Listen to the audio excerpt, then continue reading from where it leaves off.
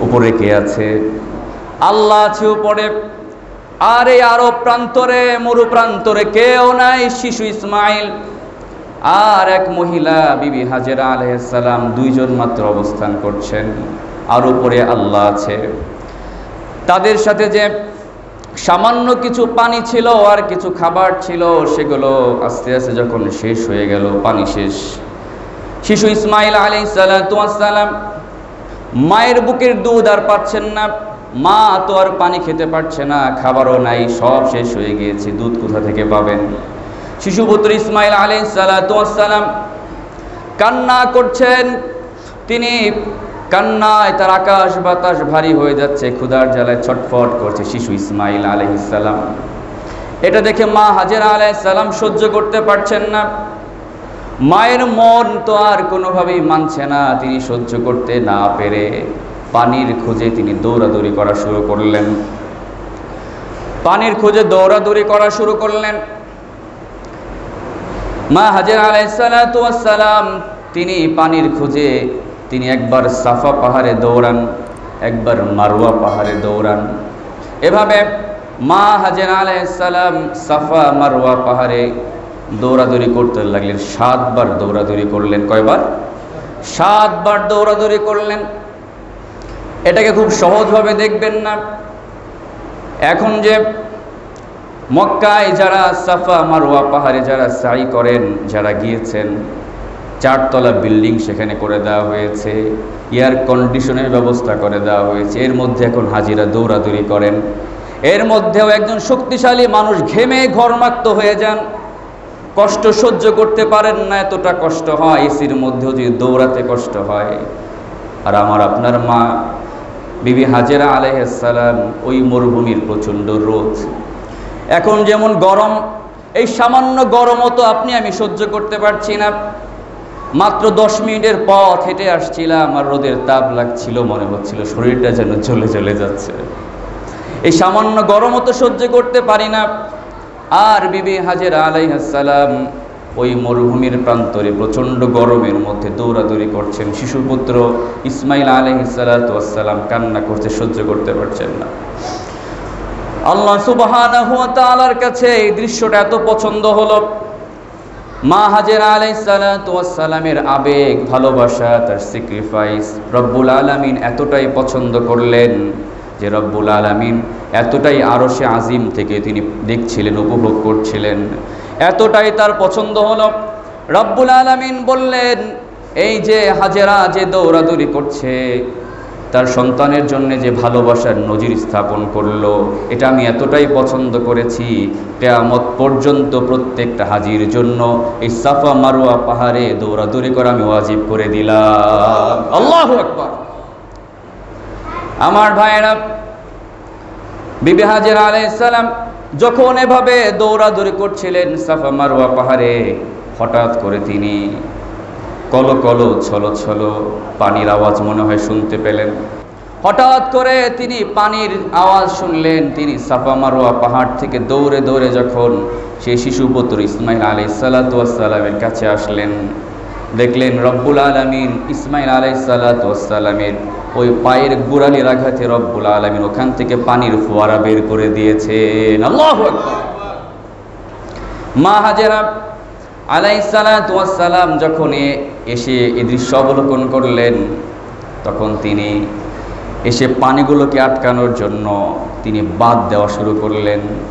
আর তিনি বলতে লাগলেন, জাম জাম তারা আরবি ভাষায় কথা বলতে পারতেন না। তাদের ভাষা ছিল সুরিয়ানি ভাষা। তো সুরিয়ানি ভাষায় জম জম শব্দের অর্থ হচ্ছে থাম পানি থাম। পানিগুলো যেন সে বালিতে শুকিয়ে না যায়। এত কষ্টের পানি, এত ইমানের পরীক্ষা দেওয়ার পরে আল্লাহ সুবাহান তালা পানি দিচ্ছেন, সে পানিগুলো যাতে চলে না যায়। এই জন্য তিনি বালু দিয়ে সেই পানিগুলো আটকানোর চেষ্টা করছেন, বাদ দেওয়ার চেষ্টা করছেন। আমরা বাদ দিই না পানি আটকানোর জন্য।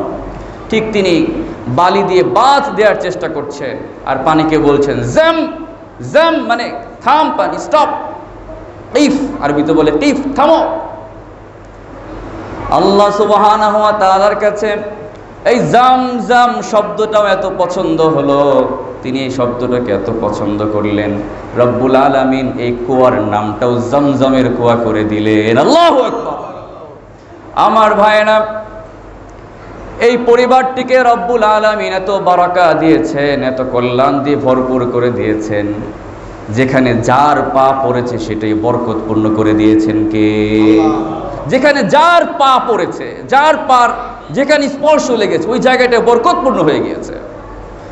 শিশুপুত্র ইসমাইল আলাই সালামের পা যেখানে পড়েছে, ওই জায়গায় জমজম কূপ হয়ে গিয়েছে। মা হাজেরা আলাই সালাম যে জায়গাটা দৌড়াদৌড়ি করলেন, ওই জায়গাটাকে রব্বুল আলমিন কেয়ামত পর্যন্ত প্রত্যেক হাজিদের জন্য দৌড়াদৌড়ি ওয়াজিব করে দিলেন। শুধু তাই নয় সৈয়দানা ইব্রাহিম আলাই সালামের পাটা যেখানে পড়েছে আল্লাহ সুবহানাহু ওয়া ওই জায়গাতে হাজিদের জন্য তিনি মুসল্লা করে দিলেন, নামাজের জায়গা করে দিলেন। আমার ভাইয়েরা, মাকাম ইব্রাহিম, আপনারা যারা হজ করতে গিয়েছেন, কাবার পাশেই দেখেছেন মাকামে ইব্রাহিম রয়েছে। ইব্রাহিম ফুট প্রিন্ট সেখানে রয়েছে। তার পায়ের ছাপ সম্বলিত একটা পাথর সেখানে রয়েছে। ইব্রাহিম আলাইসালাম তার পুত্র ইসমাইল আলাই সালাতামকে নিয়ে পরবর্তীতে যখন এই কাবাঘর নির্মাণ করলেন, তিনি ইব্রাহিম আলাই সালাতাম ইসমাইল আলাই সালাতামের কাছে আসলেন এবং বললেন, আল্লাহ সুবাহান আমাকে নির্দেশ দিয়েছে এই এখানে একটা ভিত্তি প্রস্তর স্থাপন করার জন্যে। আল্লাহ সুবাহান আমাকে আদেশ দিয়েছেন, অর্ডার দিয়েছেন। তুমি কি আমাকে সহযোগিতা করবে নাকি? তখন ইসমাইল আলাই সাল্লাম বললেন, কেন নয়? অবশ্যই সহযোগিতা করব। তখন বাবার সন্তান মিলে এই কাবাঘর পুনর্নির্মাণ করলেন। কাবাঘর তারা সংস্কার করলেন, দেয়াল উঠালেন। বাবার সন্তান মিলে যখন কাবাঘরটা নির্মাণ করলেন, যখন দেয়ালটা উপর উঠে গেল, এখন তো আর নাগাল পান না। এখন কীভাবে কাজ করবেন? তখন রব্বুল আলমিন এমন একটা পাথরের তাদের ব্যবস্থা করে দিলেন। যে পাথরের উপরে ইব্রাহিম আলাই সালাম, তিনি দাঁড়ান। যতটুকু উপরে ওঠা লাগে পাথরটা উপরে উঠে যায়।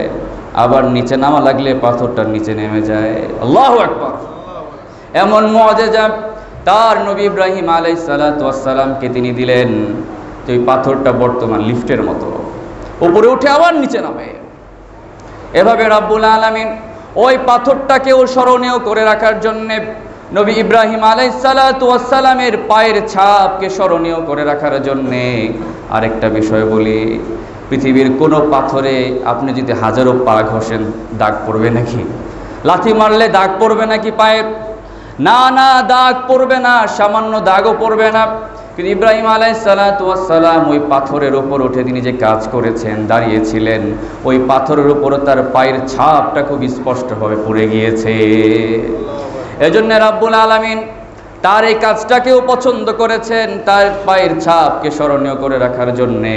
রব্বুল আলমিন ওই পাথরটাকে কাবা ঘরের পাশেই তিনি রাখার ব্যবস্থা করে দিয়েছেন।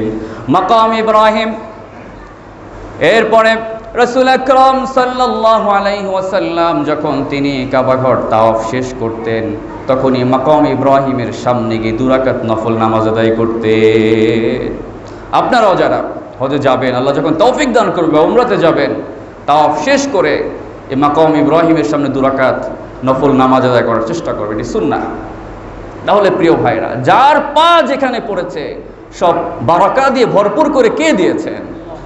আল্লাহ তাআলা বারাকা দিয়ে ভরপুর করে দিয়েছেন, বরকত দিয়ে ভরপুর করে দিয়েছেন।